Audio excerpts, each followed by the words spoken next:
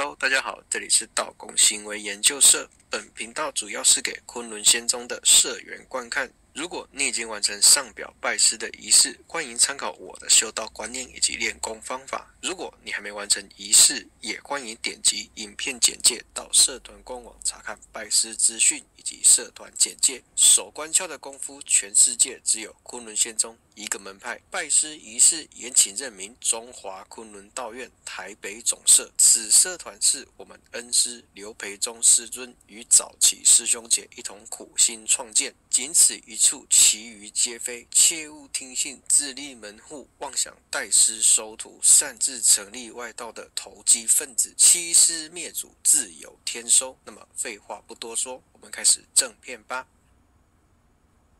师尊曾说：“大道可以辅国化民，自修强身，规劝人心，行持仁义道德，救国救民者正道也。修持道功不可自私自误，修行长生之道必须虚其心，实其腹。”前面影片一再强调，心为一生之主。察其本末是空空洞洞无一物，与宇宙同光和合的结晶。禅宗门下神秀法师曾说：“身是菩提树，心心如明镜台。”后来六祖慧能禅师发现此诗还在入世法中打滚，尚未悟透元神的本来面目，所以另外做一首诗回应：“菩提本无树，明镜亦非台。”但后学都把心思放在同门师兄弟在较量道功的深浅。而忘记此二首诗实则是我修行人的必经之路。没有历经神秀的时时勤拂拭，莫使惹尘埃，又怎么能体悟慧能的本来无一物，何处惹尘埃？古人说菩萨是仁义心肠，夜叉手段，暗指真正修行人势必要历经人世间的种种。磨难，在面对种种考验时，仍不失去对大道的执着以及热忱，将心修得如如不动，任凭雷轰电闪、天崩地塌，我们的心如止水，不起涟漪。佛云：安忍不动如大地，静虑生命如密藏。只有透过入世法的磨练，才能得出世法的玄妙。祖师爷明训：人神好清而心扰之，人心好静而欲牵之。师尊也明训：事累于心，欲望。重生，心不得静，谓之实受去也。玄门子弟是入世苦修，所以能证金仙大道。出师修持，妙理在于清心寡欲、克勤克俭。而修持态度上，不可贪求成果，不可贪多练法。佛云：万法归一。祖师云：报缘守一。师尊也说：得一则为道，贪多必败。一是见性，多即是众生；一是本体，多即是假象；一是宗教。多即是旁门，一者观窍也；一者万物之起源；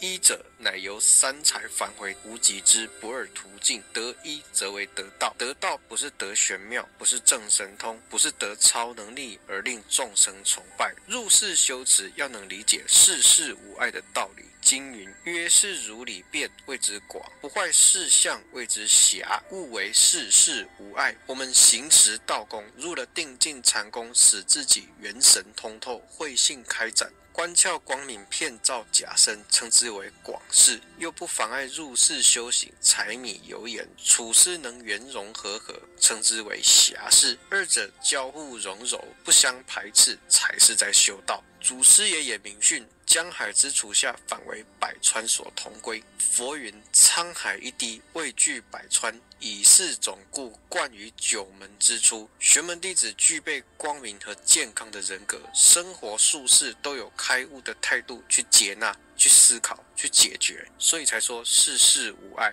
而行持道空，万不可贪求六根的感应以及玄妙，因为道会衰败，始终来自于欲望，所以修道必须先止住欲望，止住对物质的欲望，也止住贪求玄妙的欲望。师尊曾说：长生之道，须虚其心，实其腹。腹者精之源，实者起于虚。为故其精，先止其欲，则死者常死也。佛门也说：动修止。静修观，六根一切感应皆是假，所以称为空。意念能习于此，就称为止。因止而入静，从静定中抱元守一，就称之为观。虽说只观双运，却能通天透地，修成不坏金仙，与天地同尊。建主也明训，无中生有，玄中妙，集中生化，隐混年。玄门仙宗道功修炼，皆是无中生有，与佛门定功修持本。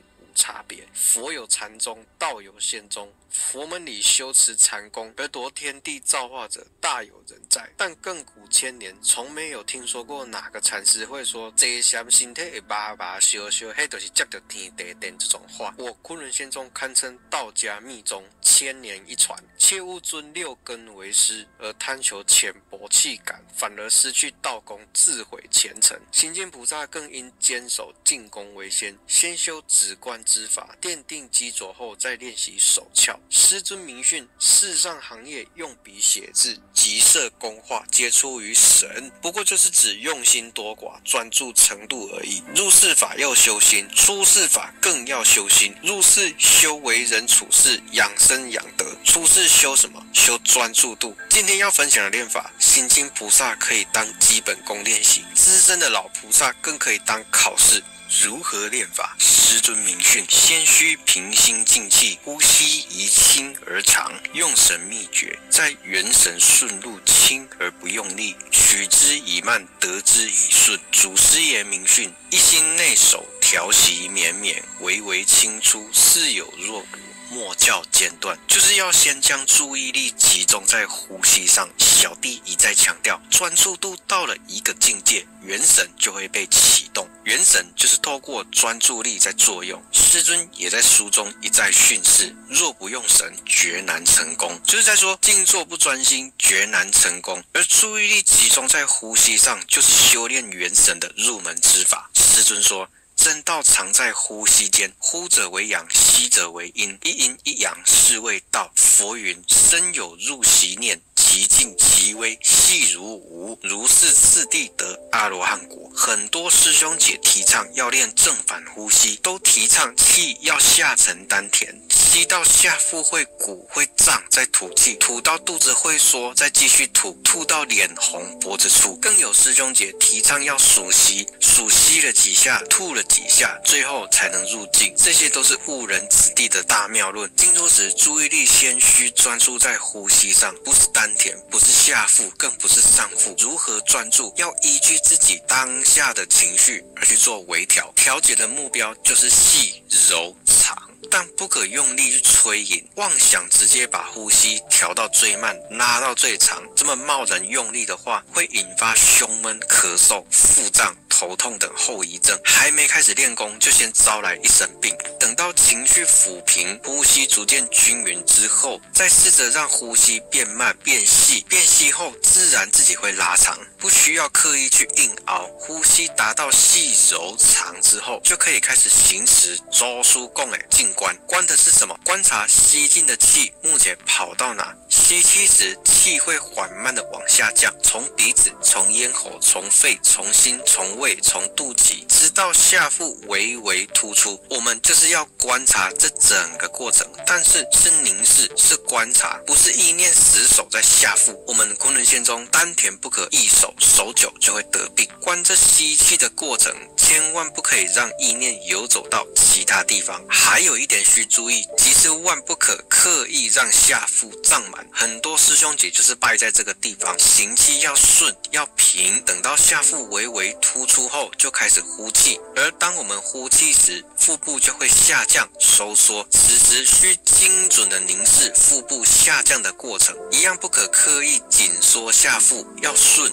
要平，每一次过程都要全神凝止，在呼吸间要一心觉察气息而不起二念。等到凝视呼吸这个动作，也就是静观法，逐渐进入状况后，就是要进入祖师爷说的。关静练习关静要非常小心，很多师兄姐都是在这个阶段得内伤。关静关的是什么？诸位师兄姐仔细观察，在呼气结束到吸气开始这中间，会有一刹那、一瞬间极短暂的时间，我们的呼吸是暂停的。各位可以细细体会，在这呼吸暂停的一瞬间，我们的心思会突然进入万念俱忘、止息入定的禅功境界。关静就是要关这入定的。瞬间，而定的时间拉长了，就是我们修出来的定功。但不是叫你憋气很多师兄姐就是在这一阶段刻意去憋气，反而伤了身体，而是要牢牢记住这个入定的感觉，让这个状态变长